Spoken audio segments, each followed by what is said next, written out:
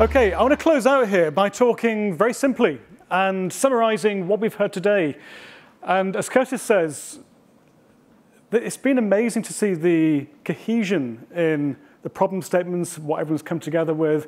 And I honestly did not make these slides after you all talked. So you may see some common themes here. But I want to talk about why Armis and why now. And there are three themes that very apparent to Armis, and I've heard them time and time again today. And those are cyber resilience, modernizing, transforming, optimizing our environments. From a cyber resilience perspective, you know, we can't stop the cyber attack, but what we can do is try to mitigate the impacts on operations through cyber attack. That's the important thing. You know, from a modernizing and digitizing perspective, I see goodness here. We are in a renaissance of technology. We see incredible new hardware, new software, new ways to connect like never before. We can now control our supply chain, our operations, like we've never done in the past. That's good. And from a optimization perspective, the bottom line and productivity matters. It can be the difference maker of our quarterly earnings results or not. And with energy prices spiking, with the carbon footprint we need to think about, these are all critical things we have to consider. So these three themes, Armis is incredibly passionate about. I want to just double click very quickly into each of these and then bring it home. Let's start with cyber resilience. As Jean said this morning, cyber attack is on the rise. Guess what? It's not going away. You know, why is that? Well, there's a massive business here.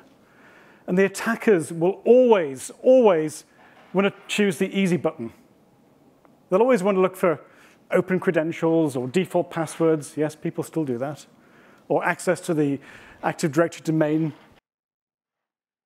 And what's happening with all these new connected devices that we're seeing explode onto our environments is the number of exploitable vulnerabilities is out of control.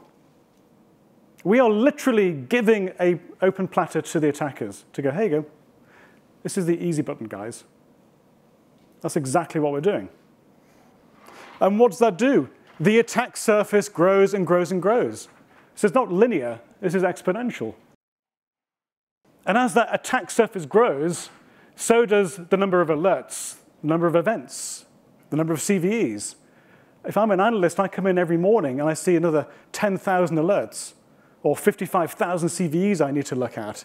Is that good? The answer is no. What happens as humans is we become numb to this.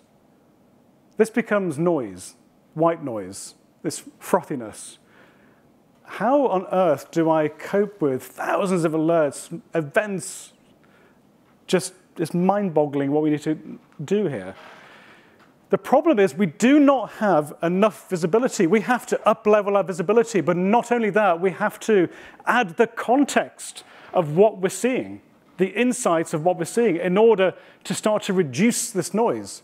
I talk about it as improving the signal-to-noise ratio. If we don't do this now, there is no hope for us in the future. I'm sorry to be very blunt, but the alerts are going up at an astounding rate. And if we don't start to pull back and provide clarity on what actually matters, we won't be able to cut through that noise in the future. So we need context of what's going on. And the need here is very, very simple. Focus on what actually matters. Cut through that noise, focus on the business issues as we discussed today. We also need to make sure we up-level our visibility. Find out the who, what, where, when of all the asset intelligence, as we've been discussing. And the big question is, how do we go do that without impacting our operations? Next one is around modernizing and digitizing, transforming ourselves. And again, the good news here is we've got more technology than we know what to do with. The costs of hardware are plummeting. The costs of connectivity have plummeted over the past couple of years. Just to give you an example, the ability now for us to connect our devices is unparalleled. With high frequency 5G, we can now put about a million devices per square kilometer and connect those all back. With 6G coming up, we can have 10 million devices per square kilometer. Just try to imagine that for a second. I haven't done the math on that, but it's probably quite, quite dense. So this is giving us the ability to inspect our business, monitor, control it like never before. However, there is a side of risk to that. Obviously, as we just said, the more stuff we put in, it's just math, it's statistics. The risk goes up.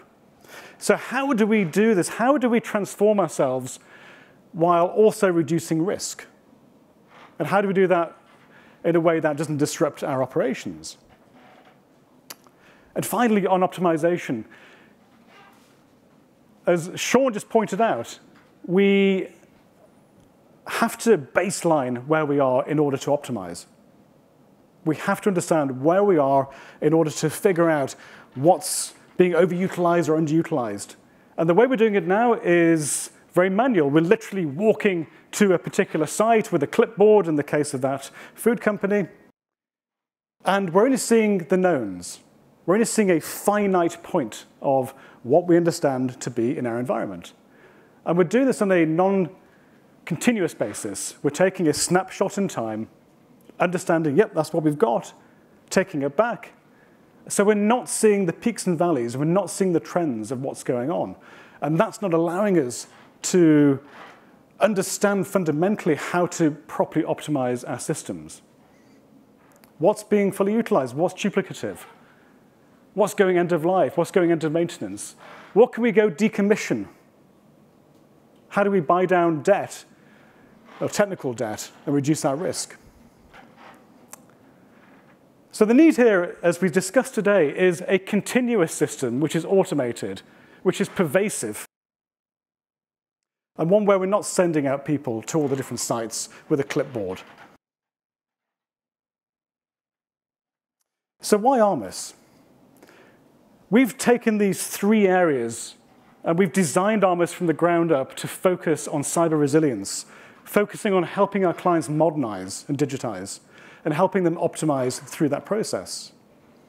And from a cyber resilience perspective, as we discussed, Armis can give incredible levels of asset visibility. But not only that, when we talk about asset intelligence, the who, what, where, when.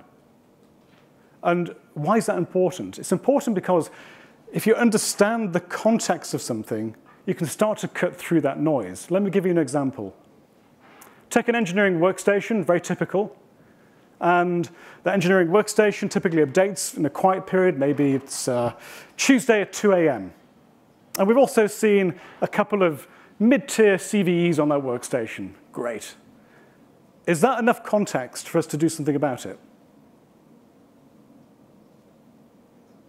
It's not a trick question. Now, of course, context matters. Now, let me tell you something else. Deploying Armis can go far deeper than that. Yes, we can see all those things, but let me just explain this. If we can now say, hey, that engineering workstation was opening another connection on port 443, just simple SSL. It's linking to another IT workstation. That IT workstation is opening up another SSL connection to a Russian known malicious domain. And at the same time, that information is being downloaded and mimicking the uploads and downloads at 2 a.m. on Tuesdays. And by the way, that one CVE on that system, there's a known exploit on it. Does that give you the right context now? That's what Armis does. That's the level of context you need to cut through the noise. It's, it's all about taking this understanding and allowing us to figure out what truly matters to the business. We're not expecting to go through 55,000 CVEs and 20 million alerts. Those days are done. You have to cut through the noise. When we think about modernizing, we talk know, a lot today, we've heard a lot about uh, IT and OT convergence.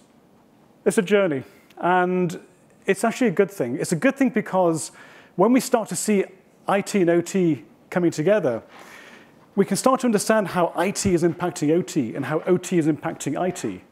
And what Armis uniquely does is put an umbrella across both of those things. Once you see that full frame, once you kind of zoom back out, you can understand as you're going through modernization transformation, as you're walking through that long, long process, you can understand where you are. You can take back control because you've got more visibility on what's actually going on. Sounds basic, but we don't have that level of visibility today. And finally, on the optimization front, so I'll just say this. Armis is not another shiny tool. We often get asked that, going, oh, you're another shiny tool. No. What Armis is, it's a fundamental rewrite of how to do security, a security architecture. It's starting from the ground up. We're literally going back to the fundamentals of what we have to do, going back to visibility, going back to understanding with asset intelligence. It's a fundamental rewrite. Why do I say that? It's important for optimization purposes. It's important because Armis starts to become the nervous system of everything else. We start to feed all that intelligence up the stack to other operational tools.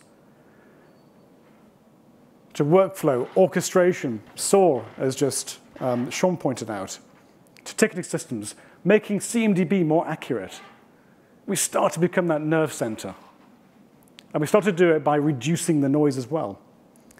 As well as that, the Armis was designed from the ground up to be a very easy thing to go deploy. We don't want to add more operational complexity. And it can be deployed within literally minutes. There's no truck rolls, there's no maintenance, there's no going on site every five minutes. And the learning time is zero. It learns automatically. Now, the beauty of all these things coming together is that we start to see a much broader picture of what's exactly happening. And by doing that, we can start to understand utilization of all the hardware, all the software components, all the hierarchies working together.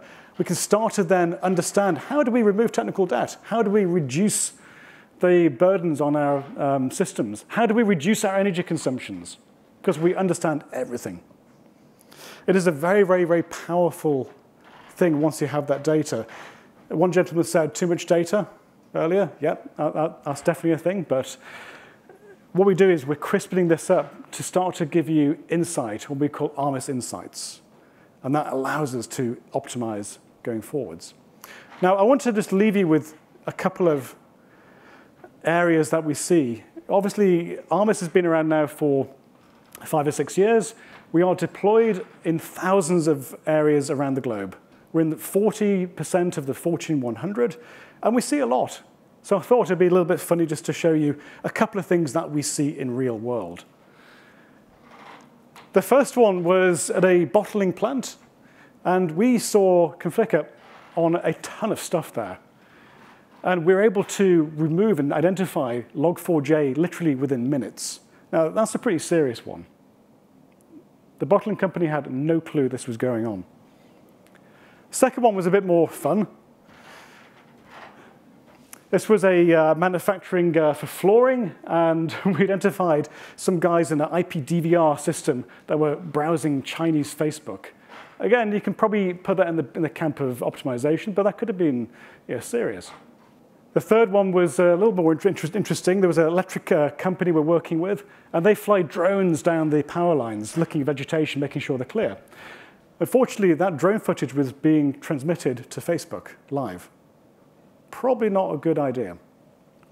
And then finally, in the world of uh, chip manufacturing, uh, we saw crypto mining on all the virtual machines that are in the fab fabrication process. So this is, um, again, this goes back to a lot of those things we just sp spoke about, about cyber resilience, about looking how do we optimize our systems? How do we reduce this from happening? and how do we speed up modernization. That's what Armis is doing, and we are leading the way in doing that. And if you haven't seen Armis live in person, we have demonstrations here, and we also have a test drive, which is very, very quick. We can show you this for real on a pilot system or a site we can do that within a day.